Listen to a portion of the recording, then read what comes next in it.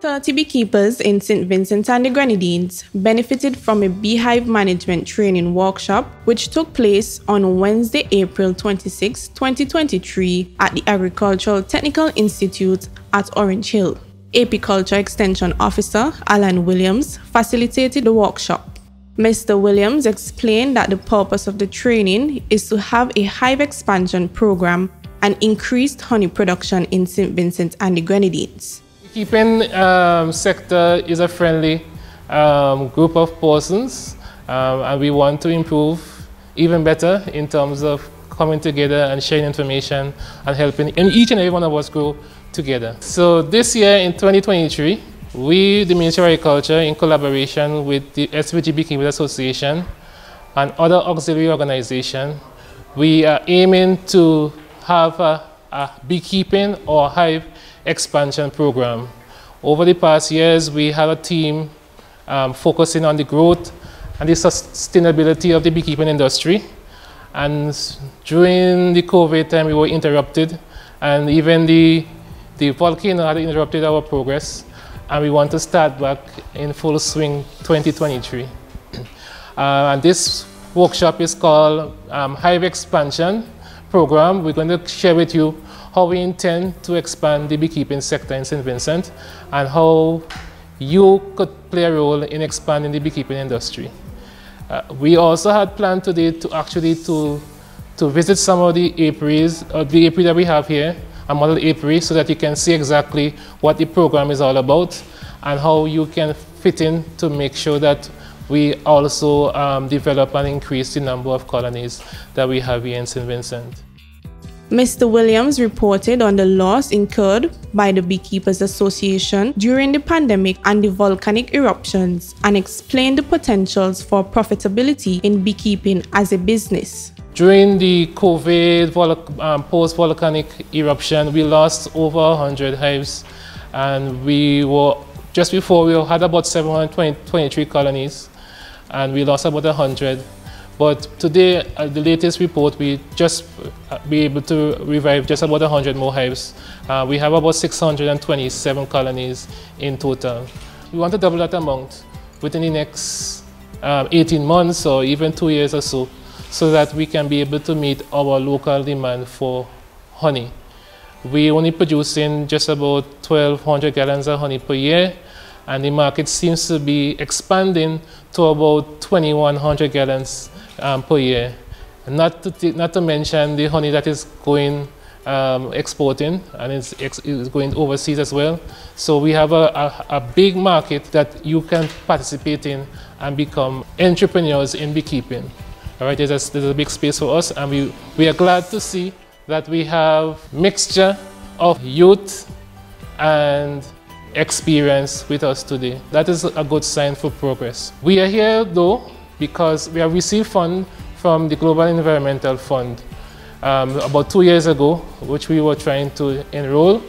And we, part of the growth and sustainability of the beekeeping industry is try to set up a model apiary where we can focus, one apiary can focus on the production of queens. Because generally, most of our beekeepers are focusing on honey production. And honey and, and queens, they are, they, are, they are interdependent. So if you are producing honey, you won't have the time or the resources to do both at one time. Mr. Williams concluded by providing details on the current project. This project in particular that we are working in collaboration with the Beekeepers Association is um, they are driving this activity. So this activity is actually sponsored by the GEF um, through the B SVG Beekeeping Association. In a nutshell, um, I want you to, to enjoy yourself, um, ask questions. There's no foolish question. Um, even if we laugh, we still are friends. All right. So in the program, we're going to give you a synopsis of um, the whole situation, and then we had planned to go and do a little demonstration and give an insight of what we're actually doing in terms of queen rearing, but it's very difficult to open our hives with this kind of weather. I really don't want to do that because the, the amount of moisture going into the colonies is might defeat the purpose of our management issue. And plus, um, for most bees, uh, if I was a bee, I wouldn't want you to open my hive when, when rain coming. President of the local Beekeepers Association, Beverly Reddock, expressed her delight in seeing the increase in membership and the growing interest of young people in beekeeping, and she went into details about the project. When I entered the door, I felt really good because our numbers have tripled, I want to think. And not only tripled in numbers, I am happy to see so many young people that augurs well for the beekeeping industry and also for the association because without continuity, we will die. So I am going to be handing over to a very nice young group so the association will have a much longer life as we go along. Now we are here because of the GEF Small small um, grants program. And uh, we have to be supported from time to time by various organizations, and they are one of them Global Environmental Fund, right? The GEF Small Grants Program, Global Environmental Fund.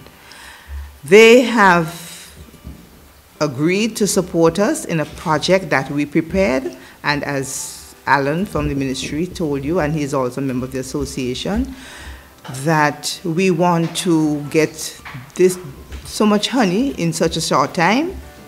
So we put together the project, we gave them, and they agreed to assist us, and that's why we are here.